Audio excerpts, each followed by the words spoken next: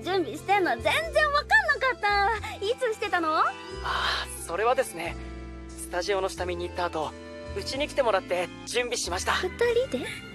はい恥ずかしいから秘密にしてほしいと言われたので。ああねそっか。うん。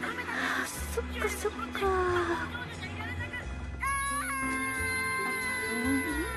もしもし？